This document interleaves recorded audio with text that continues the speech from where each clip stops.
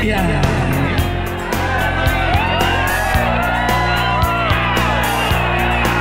Silakan Pak. Bisa lihat semuanya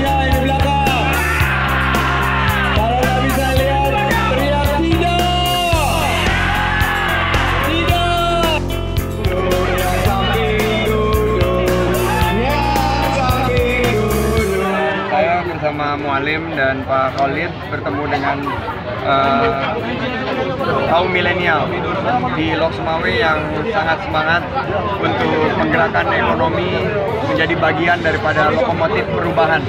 Dan uh, mereka juga menitipkan pesan bagaimana kawasan ekonomi khusus, kawasan industri di Lok Sumawe ini segera diwujudkan jangan di jalan di tempat dan membuka lapangan kerja seluas-luasnya.